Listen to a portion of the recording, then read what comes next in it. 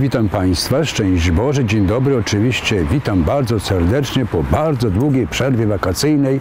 Myślę, że wakacje, urlopy w czasy, lato, że był to czas bardzo udany, że szczęśliwie żeśmy przeżyli ten czas, że żeśmy poznali dużo ludzi nowych, że poznaliśmy krajobrazy piękne, suwalskie czy suwalszczyzny, e, czy po prostu poznaliśmy kawałek świata.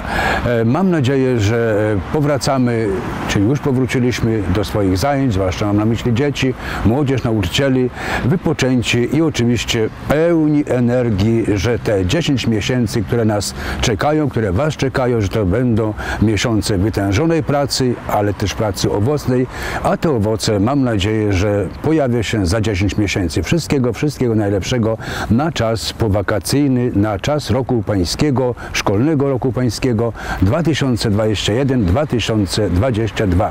Kochani, drodzy telewidzowie, właśnie jest początek września, a tak naprawdę to już prawie pierwsza połowa, zbliżamy się do końca lata, wkrótce rozpocznie się nowa pora roku, rozpocznie się jesień, póki co jeszcze cieszmy się latem, cieszmy się też tym pięknym słońcem, które jest, jak widzą Państwo, przynajmniej w tym momencie, kiedy ten program jest nagrywany.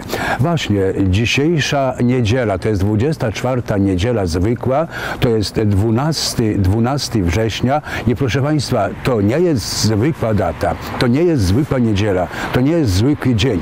Jest to naprawdę data bardzo historyczna, jest to naprawdę dzień bardzo, bardzo ważny, historyczny, jak powiedziałem, na miarę owszem Kościoła w Polsce, e, na miarę Polski, ale mam nadzieję też, że na miarę Kościoła katolickiego w świecie. Dlaczego? Dlatego, że właśnie dzisiaj, e, 12, 12 września w Warszawie, w Świątyni Opatrzności Bożej, zostaną wyniesione na ołtarze dwie bardzo wielkie postaci, jeżeli chodzi o Polaków, jeżeli chodzi o ich religijność, jeżeli chodzi o ich miłość do ojczyzny, o miłość do Kościoła, jeżeli chodzi o ich wielką miłość także, także do ludzi. Właśnie e, te dwie wielkie postaci to właśnie siostra, e, jeszcze nie siostra, wcześniej najpierw Róża Czacka, a potem siostra Elżbieta Czacka, wtedy, gdy właśnie ona utworzyła e, wspólnotę, utworzyła zakon. No i oczywiście Stefan, kardynał Wyszyński, ten prymas, którego określamy mianem prymasa tysiąclecia. Oczywiście ta uroczystość miała odbyć się w roku ubiegłym, 7 czerwca, miała mieć miejsce na placu e, Piłsudskiego, no ale z racji pandemii została przełożona i niedziela 12 września to jest właśnie ten czas, e, kiedy, kiedy przeżywamy tego rodzaju uroczystość. To kochani, od dzisiaj będziemy mieli, czy już mamy dwóch nowych orędowników w niebie. To błogosławiony Stefan kardynał Wyszyński, e, to błogosławiona siostra Elżbieta Czacka, czy jak to woli siostra e, Róża Czacka. To e, imię Róża jest tym imieniem świeckim chrztu, natomiast Elżbieta to jest to imię, imię zakonne. To dzisiaj będziemy wołali, czy jak powiedziałem, już wołamy, błogosławiony Stefanie, błogosławiono Elżbieto Czacka, módlcie się za nami. To jest bardzo, bardzo ważne. Mamy nowych orędowników, a więc wzmacnia się, że tak powiem, ta armia polskich, błogosławionych polskich świętych przy Bogu, którzy za nami się wstawiają i którzy z nami się łączą i którzy właśnie wzmacniają nasze wiar, naszą wiarę w świętych, świętych obcowania. E, Drodzy Państwo, jak powiedziałem, dzisiejsza niedziela to jest 12 niedziela zwykła, przepraszam, 24 niedziela zwykła i gdy będziemy, bądź też gdy byliśmy w kościele, to usłyszymy, ewentualnie usłyszeliśmy słowa Ewangelii według świętego Marka, a te słowa będą bardzo mocno współpracowały z dzisiejszą uroczystością.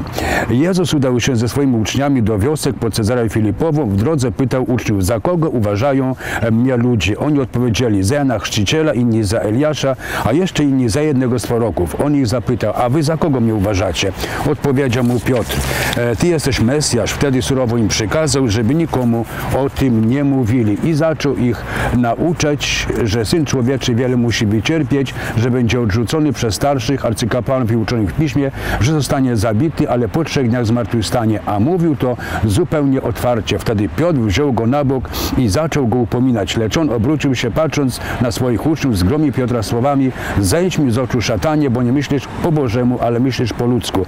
Wtedy przywołał do siebie tłum razem ze swoimi uczniami i rzekł, jeżeli kto chce pójść za mną, niech zaprze się samego siebie, niech weźmie krzyż swój i niech niech mnie naśladuje, bo kto chce zachować swoje życie, straci je, a kto straci swoje życie z mego powodu i Ewangelii, ten je zachowa. Kochani, właśnie ta Ewangelia jakże bardzo mocno pasuje, jak powiedziałem, do dzisiejszej uroczystości, do błogosławionego księdza kardynała, do błogosławionej siostry Elżbiety Czackiej. To właśnie oni chcieli iść za Chrystusem, to właśnie oni poszli za Chrystusem, to właśnie oni wzięli swój krzyż, nie krzyż Chrystusowi, ale wzięli swój krzyż i naśladowali Chrystus. Naśladowali w czym? No w miłości do ojczyzny, naśladowali w czym? W miłości do ludzi, naśladowali w czym? Naśladowali w miłości, ogromnej miłości do Boga. I oni w jaki sposób oboje utracili życie. E, spalili to swoje życie, może nie poprzez męczeństwo, ale, ale poprzez to, że właśnie to pełne oddanie, jeżeli chodzi o Stefana Wyszyńskiego, kardynała Wyszyńskiego, to jak wiemy, Został on uwięziony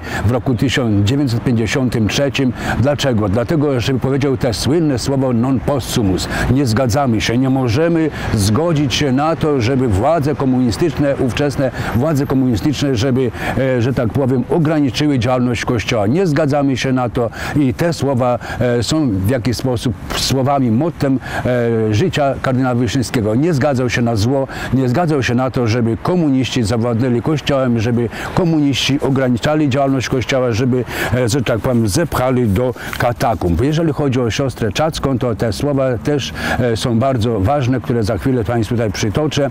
Jak wiemy, siostra Czacka utraciła wzrok mając 22 lata. I proszę zauważyć, w jaki sposób ona to swoje cierpienie, ten krzyż przyjęła. Powiedziała, że największym moim szczęściem jest to, że jestem niewidomo. Zobaczmy, to nie mieści się w naszych umysłach, w naszych głowach, żeby powiedzieć takie słowa. Ona powiedziała. Powiedziała dlatego, że kochała Chrystusa, cierpiącego Chrystusa, dlatego, że widziała Jego krzyż, dlatego, że ten krzyż kochała ponad wszystko. E, moim największym szczęściem jest to, e, że jestem niewidomo. Ona założyła, e, utworzyła wspólnotę ludzi, którzy są niewidomymi. Ona tym ludziom służyła jako niewidoma. Ona właśnie dzisiaj staje przed nami, ludźmi cierpiącymi na różnego rodzaju schorzenia, na różnego rodzaju pokorzenia. Ona i on stają przed nami i wołają do Boga, bo każdego w miłosierdzie, żebyśmy byli odważni, żebyśmy byli przekonani co do naszej wiary, żebyśmy dla Chrystusa robili wszystko, tak jak On dla nas zrobił także wszystko, bo oddał swoje życie za nasze zbawienie, bo oddał swoje życie na krzyżu dla nas i jak powiedziałem, dla naszej szczęśliwej wieczności. Kochani, módlmy się już dzisiaj, błogosławiony Stefanie, kardynale Wyszyński, módl się za nami, błogosławiona siostro Elżbieta Czacko, e, módl się za nami. Dziękuję bardzo, pozdrawiam serdecznie, wszystkiego najlepszego na nowy, wrześniowy, rozpoczynający się tydzień. Zostańcie z Bogiem.